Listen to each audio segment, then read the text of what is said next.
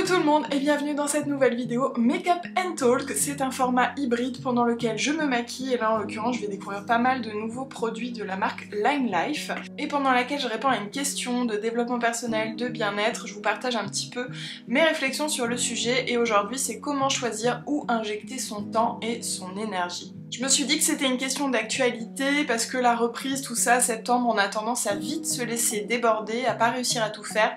Et malheureusement, ce qui passe en règle générale à la trappe, c'est son bien-être, le temps pour soi, euh, son sport si on en fait, prendre soin de son corps, se faire des bons petits plats. Donc c'est parti pour cette vidéo Makeup and Talk. Je vais commencer avec le teint et donc comme je vous disais, j'ai pas mal de produits de chez Lime Life by Alcone à découvrir. C'est une marque cruelty free et en fait qui vend euh, ces, pads à part. Et ensuite on les met dans les petites palettes comme ça aimantées. Donc je trouve que c'est très sympa. Pour le teint j'ai deux fonds de teint euh, là j'ai plus les teintes, il faudrait que je soulève les trucs, je vais m'abîmer les ongles. Mais voilà je, vous dirai éventuellement. Je vais les tester déjà, donc c'est des fonds de teint crème mais qui sont euh, comme ça en petits pads. Voilà les deux, donc je vais prendre le premier qui m'a l'air de correspondre plus à ma teinte. J'ai bronzé un petit peu, donc peut-être que ça va être un chouïa clair, on va voir. Et on va voir ce que ça donne, je vais déjà faire un côté du visage. Alors c'est un chouïa clair parce que bronzage tout ça, mais euh, je dois avouer que j'aime vraiment beaucoup le rendu, je trouve que c'est très naturel et en même temps je sens bien que si j'en remets euh, ça peut se construire assez facilement. C'est quand même assez couvrant. En termes de ressenti je pensais que ça allait être très gras et en fait j'ai l'impression d'avoir une crème hydratante quoi. Non franchement euh, j'aime beaucoup. Je vais finir euh, le visage et puis on va rentrer dans le vif du sujet. Donc comment injecter son temps et son énergie Si j'ai choisi de répondre à cette question, c'est parce que très souvent les gens me disent j'aimerais faire ci, j'aimerais faire ça mais j'ai pas le temps, euh, je, trouve pas de temps dans mon quotidien entre les corvées, les obligations, le travail et, je comprends. Hein. Je vous ai fait une vidéo sur justement euh, comment... Euh, comment gagner du temps, je crois quelque chose comme ça, il me semble que c'était suite à la lecture du livre Votre temps est infini de Fabien Licard qui est super, que je vous conseille vraiment. Au-delà du fait de vous donner des petits conseils pour euh, générer un peu plus de temps dans votre quotidien, chose que j'ai fait dans la première vidéo, je vous invite à la regarder, j'avais vraiment envie qu'on s'arrête sur le fait de choisir où mettre son temps, où injecter son temps, parce que je pense que c'est ça qui est finalement le plus important. Euh, il y a évidemment beaucoup d'obligations dans la vie, et on en a tous, plus ou moins, il y a des gens qui ont plus de liberté que d'autres, mais globalement on a tous des obligations tous les jours dans la vie. Juste petite pause, regardez, je suis en train de mettre un petit peu plus là sur mes tâches, et limite ça suffirait. Je trouve que c'est vraiment... Euh, très courant, je suis vraiment ravie. Du coup, je l'ai enlevé et j'ai la teinte 07 du fond de teint parfait. Je vais continuer avec l'anti-cerne, donc c'est pareil, c'est un petit pad comme ça euh, en crème. Là aussi, j'ai deux teintes. je vais prendre la teinte 02. Mais honnêtement, je pense que juste avec euh, le fond de teint, ça aurait pu suffire. Donc, on a tous des obligations, euh, ça c'est sûr. Quand vous faites votre planning, votre to-do list de la journée, il y a en général une tonne d'obligations, que ce soit lié à des enfants, à du travail, à des corvées, à des rendez-vous professionnels ou personnels ou santé, enfin voilà, on a tous plein d'obligations et ça, on est par définition obligé de s'y tenir. En revanche, on peut choisir la dose d'énergie qu'on attribue à chaque obligation. Je vais prendre un exemple euh, qui devrait parler à pas mal d'entre vous, c'est la réunion. Euh, il y a des entreprises qui, euh, qui font énormément de réunions et des réunions parfois très très longues. Et en règle générale, c'est quelque chose qui vous vide de votre énergie. Vous avez tout donné pendant, votre attention, vos idées. Après, il n'y a plus rien, mais il faut continuer la journée. Peut-être que vous pouvez vous dire que ça pourrait être bien de mettre un peu moins d'énergie dans ces réunions qui finalement ne vous enrichissent pas tant que ça tant sur le plan euh, personnel que professionnel et euh, mettre votre énergie sur euh, l'après-réunion où vous allez peut-être faire un récap pour tout le monde de sorte à avoir les points les plus importants et du coup ça va être hyper utile et, et même pour vous voilà ça sera de l'énergie mieux dépensée. Donc pour ça peut-être que vous pouvez suggérer de faire une réunion à heure fixe de telle heure à telle heure et qui ne déborde pas, de faire une réunion d'une heure et demie au lieu de trois heures, euh, de peut-être aussi mener la réunion, c'est-à-dire faire en sorte de recadrer un peu euh, les prises de parole quand ça déborde, un peu comme dans les débats politiques. Et puis de revenir au cœur du sujet, d'avoir avant la réunion vraiment une liste de points à aborder, enfin voilà, de faire en sorte que euh, ce soit euh, plus efficace et euh, moins dévoreur d'énergie. Franchement, je sais pas ce que vous en pensez, mais moi je suis ravie du résultat. Je ne m'attendais pas, je suis même pas repassée là sur, sur mes tâches tellement c'est efficace. Pour la poudre, eh bien écoutez, on change pas une équipe qui gagne, je vais utiliser ma poudre de chez Clarins, euh, la Evermatte Loose Powder que j'utilise depuis euh, plusieurs mois maintenant, je l'aime vraiment, plusieurs mois, plusieurs semaines, je l'aime vraiment beaucoup. Je vous ai donné un exemple professionnel, mais ça peut aussi être le cas dans le domaine personnel. On a parfois des connaissances qui nous drainent en termes d'énergie. On a des...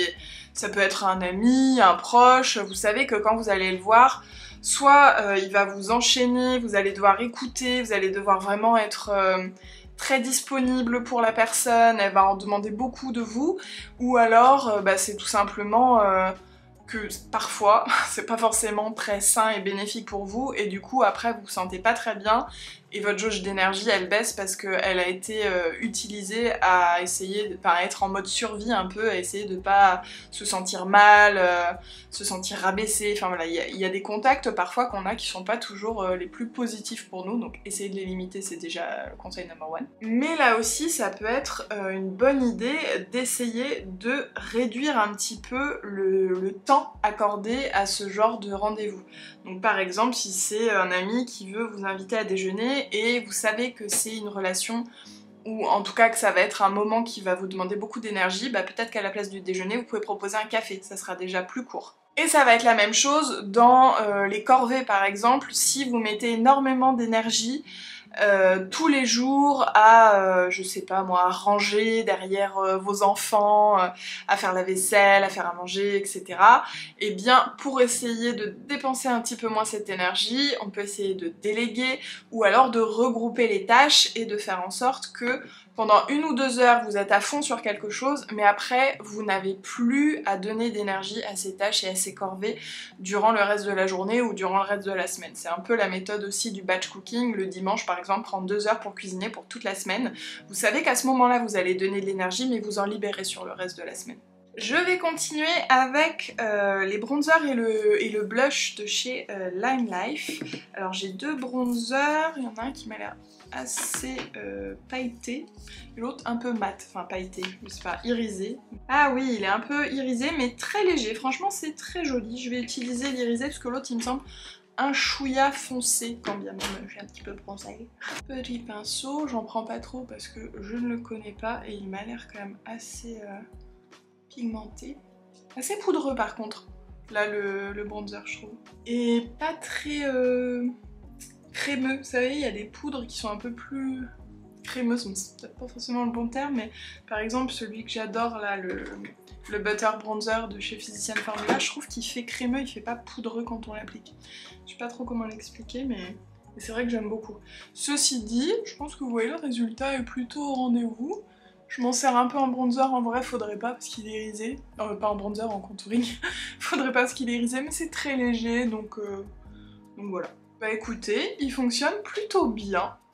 Je... Sympa, voilà, c'est pas mon coup de cœur, mais sympa. Et euh, le petit blush pendant qu'on y est. Alors, le petit blush est très joli, il n'est pas sans rappeler Orgasme de Nars. Voilà, moi je trouve que ça ressemble énormément. Il est très très beau. Ouh, il est très pigmenté. J'en ai pas pris beaucoup. J'ai bien fait. très joli. On est sur un pêche euh, irisé. Vraiment très beau. Euh, j'ai perdu mon goupillon, j'ai dû le laisser dans une pochette donc je ne vais pas pouvoir me brosser le sourcil. Je vais euh, utiliser ma petite chiffonnette pour enlever le surplus. Je vais prendre le 24 heures brossetteur de Benefit, du coup qui va me les fixer puis en même temps me les brosser un petit peu. Et puis on va attaquer les yeux, donc là aussi j'ai une petite palette Lime Life. C'est pas du tout sponsor la vidéo, c'est juste que j'avais envie de tester. Euh, c'est moi qui ai choisi les couleurs, donc ça c'est cool, on peut les mettre euh, pareil, hein, c'est magnétique. J'ai fait une ligne un peu chaude, une ligne un peu froide, je me suis dit comme ça, ça servirait relativement euh, tout le temps. J'ai du mat, de l'irisé, je me demande c'est pas même métallique, je vais vous faire quelques swatchs. On a du pigment les amis. Ça fait longtemps que j'ai pas swatché les trucs. Très joli. Oh là là, le violet il est trop beau. Trop trop beau.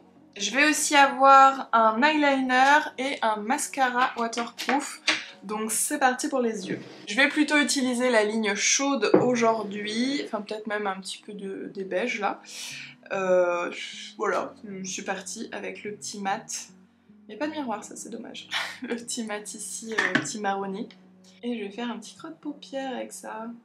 Waouh Waouh On a du pigment Très très sympa. En plus, il s'estompe facilement. Honnêtement, j'aurais pas cru. Ça m'a pas l'air trop poudreux.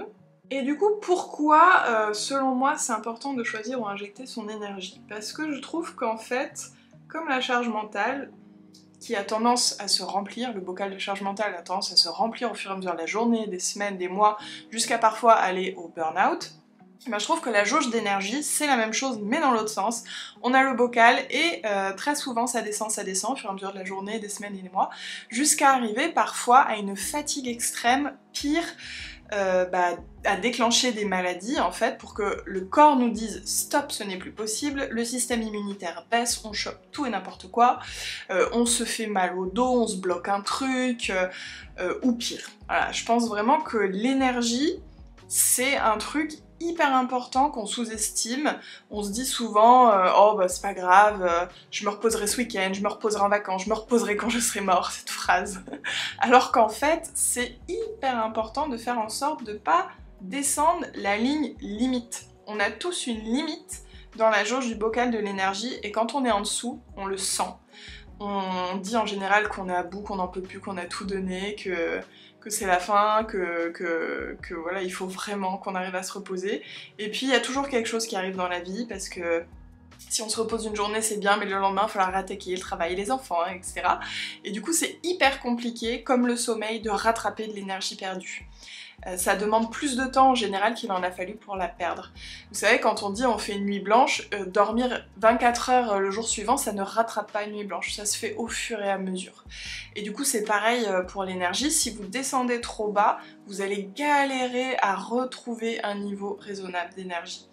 Donc euh, choisir ou injecter son temps et son énergie, c'est aussi faire en sorte de maintenir un bon niveau dans sa jauge d'énergie pour qu'on soit frais et dispo à peu près tout le temps, qu'on n'ait pas de gros coups de mou, qu'on n'ait pas de grosse fatigue et euh, du coup qu'on soit plus en forme. Donc évidemment, ça passe par bien choisir où injecter son énergie, mais aussi prendre soin des périodes de repos et écouter son corps. En règle générale, quand le corps commence à vous dire que vous êtes fatigué, c'est qu'il est vraiment temps de l'écouter parce qu'il y a eu sûrement peut-être des sonnettes d'alarme avant où vous disiez oui, je suis fatiguée, mais ça va, on va pousser encore un peu, alors que euh, bah, finalement euh, la jauge elle descend très très vite. Je vais continuer avec le je ne sais pas quelle est cette couleur. Euh, brique un petit peu et je pense que je vais l'humidifier pour faire en sorte que ce soit un peu plus euh, métallique. Alors je sais pas du tout si ça tolère bien l'eau, on va voir. C'est parti Ouh, c'est beau ça Je l'applique un peu en aplat comme ça. Et puis je vais reprendre le petit pinceau de tout à l'heure que je vais juste tempouiller dans la couleur. Trempouiller, pas tempouiller. Je mets l'eau sur ma main pour pas mettre directement euh, sur le pinceau pour bien doser. C'est pas de l'eau en fait, hein, c'est le Fix Makeup euh, de Clarins. Ça fonctionne aussi très bien avec de l'eau, mais c'est vrai que si vous avez les paupières qui sont grasses un peu, ou qui ont tendance à mal tenir le, make-up, bah déjà essayez de mettre une base, et puis euh, fixer comme ça son ombre à paupières avec du, spray fixateur à make-up, ça marche bien. Je reprends un petit peu là du marron pour insister sur le creux externe. Je vais garder le même marron et faire un petit red cils avec. Alors par contre, je trouve que euh, l'anti-cerne, il marque vachement les ridules. Ouais, ça c'est... En plus, je l'ai poudré, donc... Euh. Et je vais prendre le petit beige irisé ici. Pareil, je vais l'humidifier parce qu'ils sont quand même assez poudreux, je trouve. Et je vais faire un petit creux là. Hop, je remonte légèrement en bas et en haut. Un petit creux, un petit point, point lumière, c'est pas du tout un creux. Et je vais reprendre sans remettre de matière mon petit pinceau pour estomper un peu qui m'a servi à faire la paupière mobile. Ensuite, l'eyeliner, donc c'est le Lime Life euh, stylo eyeliner parfait avec un embout feutre extrêmement fin, mais je me demande même si c'est pas un pinceau. C'est pas du feutre les amis. C'est un pinceau. Je continue sur les yeux, hein, on revient au sujet après. Ah ouais, non mais vous pouvez faire une ligne tellement fine, j'ai jamais vu ça. Bon, je ne suis pas ravie ravie de mon application euh, pour la virgule, mais on va s'arrêter là parce que sinon, vous savez, ça va une cata. Mais vraiment pour le ras de cils super fin, je le trouve parfait. Après pour la virgule, ça demande un petit peu de pratique. Je vais appliquer maintenant le, comment il s'appelle, Making Waves, le mascara waterproof. Là franchement j'avoue pour l'été j'ai vraiment repris euh, le... il, ne s'enlève pas. Le, le l'eyeliner. J'ai vraiment repris euh, donc le mascara waterproof bah, avec euh, la piscine, la mer, tout ça. Et, et je trouve, et c'est vrai, ça tient quand même vachement mieux la courbure si vous avez les cils qui vont vers le bas parce que le mascara il fiche direct et voilà je trouve que c'est vraiment... Euh, j'avais oublié à quel point ça changeait le game quand même. Donc recourbe cils euh, en essayant de ne pas enlever tout l'eyeliner comme d'hab. Oh très sympa le mascara. Il est bien noir. Il est... Euh... dire, il donne du volume mais il fait pas de paquet. Oh non mais hé je me fatigue Écoutez, j'aime beaucoup, je pense que je vais même en mettre une petite troisième tellement il fait pas trop de paquets une fois que j'aurai fait les retouches parce que j'en ai mis partout. Et euh, je vais terminer le mascara et je vous retrouve après. Voilà, j'ai fini les yeux, j'ai galéré comme pas possible à enlever les débordements parce que mascara waterproof ça tient super bien. Mais euh, voilà, ça ira, écoutez. En tout cas, je trouve vraiment que ce mascara est top et il sèche très très vite. Je pense que c'est un très bon waterproof. Avant de continuer avec les lèvres, je voulais revenir sur un point euh, que j'ai pas encore abordé sur le fait de choisir où injecter son temps et son énergie. Euh, parfois, on est convaincu qu'il faut qu'on fasse quelque chose, que ce soit euh, convaincu de par la société, de par euh, nos proches, de par les modes, les tendances, et on y injecte beaucoup de temps, et au final ça nous frustre, ça nous mange toute notre énergie, on n'y arrive pas et on finit par abandonner, et c'est du temps et de l'énergie de perdu. comme par exemple, je pense au HIT, c'est un sport qu'on a vu et qu'on voit encore beaucoup passer sur les réseaux, moi-même je m'y suis essayée, et honnêtement, c'est pas pour tout le monde, et encore moins, je pense, si vous démarrez le sport, parce que c'est hyper intense, c'est du cardio hyper intense. Euh, il y a des hits sans saut, mais il y a quand même souvent euh, un peu de, de, saut. Quand on sait pas trop ce qu'on fait, en plus, ça va hyper vite, donc on a moins d'attention sur les mouvements, sur notre corps, etc. Euh, et donc, si c'est une discipline en fait qui ne vous convient pas mais que vous le faites parce que vous l'avez vu un peu partout et vous pensez qu'il faut faire ça et que ça ça marche etc au final, vous allez perdre votre temps, votre énergie, peut-être même euh, vous faire mal, enfin on sait pas, et puis euh, vous allez sensiblement arrêter au bout d'un moment parce que ça sera une vraie corvée et finalement quelque chose qui ne vous conviendra pas. Et c'est la même chose pour le domaine professionnel, euh, combien il y a de personnes qui se trouvent dans une voie qui finalement ne leur convient pas et qui vont changer plus tard, faire autre chose, que ce soit une mauvaise orientation ou juste un changement d'avis, hein, c'est ok, mais parfois c'est aussi des pressions extérieures qui disent, je sais pas, il faut que tu fasses médecine, donc voilà, on fait médecine, on arrive à médecin et finalement ça nous convient pas.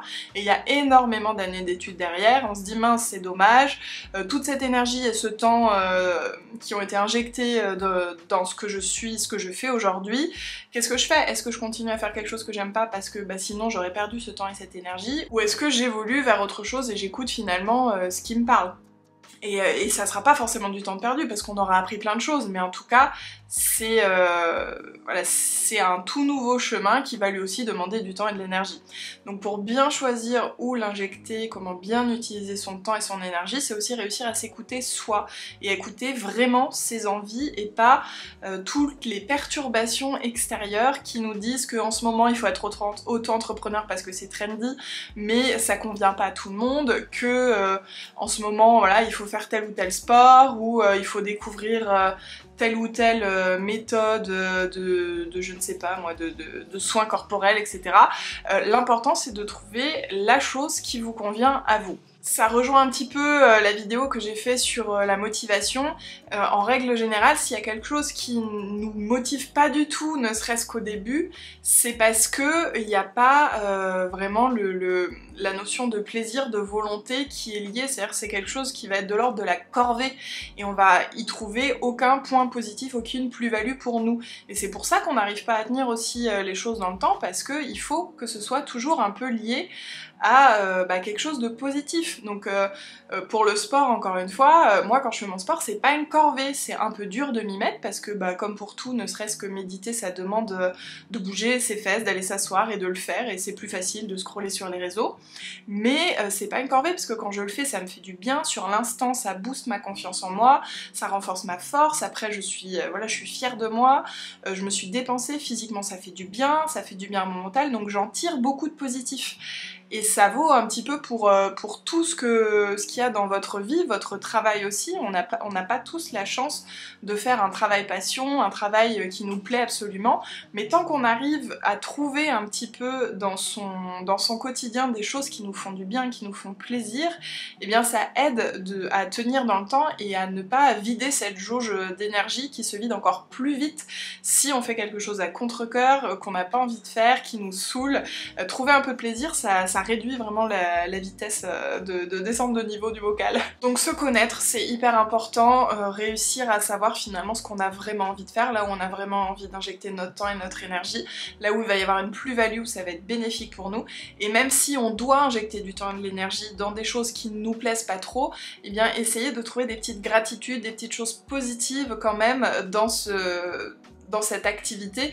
Par exemple, si vous faites un travail qui vous plaît pas, euh, eh bien vous dire que peut-être dans la journée vous apportez des choses à d'autres personnes, vous égayez leur journée, vous allez pouvoir papoter, que vous allez pouvoir améliorer leurs conditions de vie, euh, vraiment essayer de vous dire que vous êtes utile, que vous, que vous apportez quelque chose. Je sais que c'est pas toujours facile dans tous les types de travail, tous les types de vie, mais c'est quelque chose qui aide vraiment au quotidien à bah, préserver un peu ses ressources et puis à, le, à, le, vivre avec plus de joie en fait et moins de contraintes. Je vais euh, poursuivre avec les lèvres. Alors j'ai trois produits différents.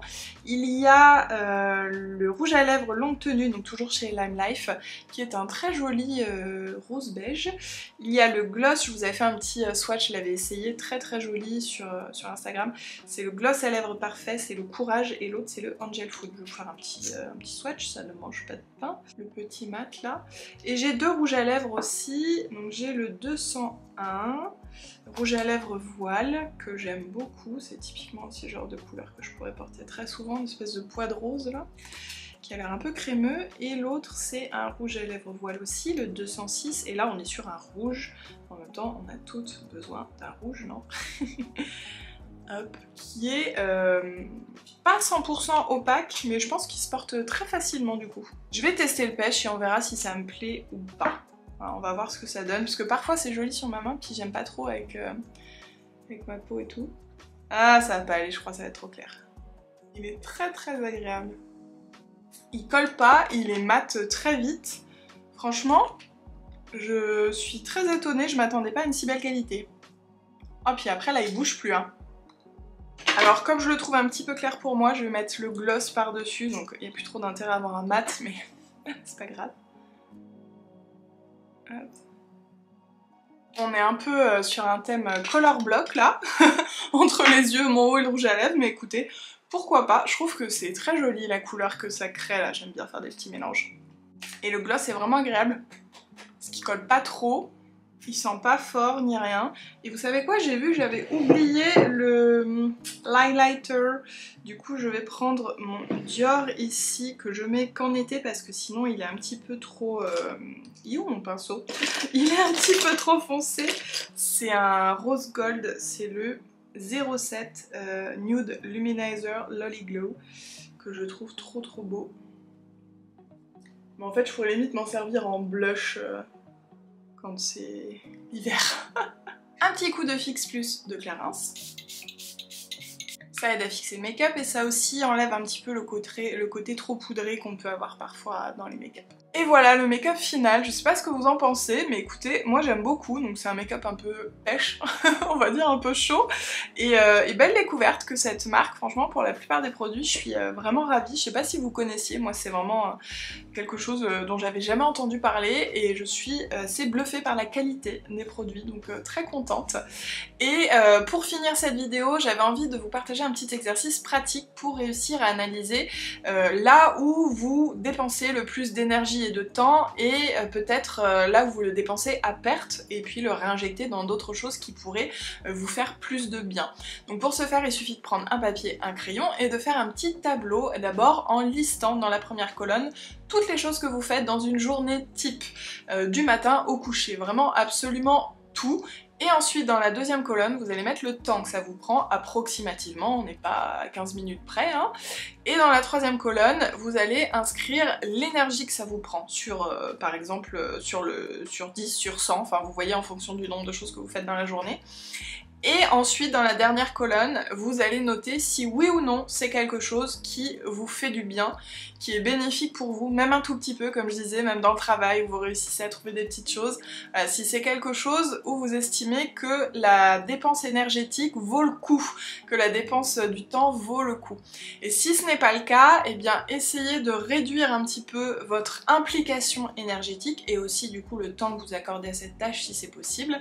Et euh, pourquoi pas, eh bien réinvestir ce temps et cette énergie dans d'autres tâches qui finalement euh, vous font beaucoup de bien mais que vous prenez pas forcément le temps de faire tous les jours, que vous faites passer en dernier. Après, comme je disais en début de vidéo, c'est très souvent tout ce qui concerne le bien-être, les activités physiques et sportives, les activités créatrices, euh, la méditation, le fait de prendre soin de son corps, de se faire des petits plats, etc. Très souvent on fait passer ça en dernier quand on n'a plus le temps. Et donc euh, réduire un petit peu le temps et l'énergie que vous attribuez à des choses qui ne vous apportent rien ou vraiment que vous faites en mode automatique, euh, comme aussi peut-être scroller sur les réseaux, c'est vous permettre d'injecter ce temps et cette énergie dans des choses qui vous font plus de bien. Voilà, j'espère que la vidéo vous aura plu et si c'est le cas n'hésitez pas à me soutenir en laissant un petit commentaire, un petit pouce en l'air et en vous abonnant à la chaîne et pourquoi pas en partageant la vidéo si elle vous a parlé.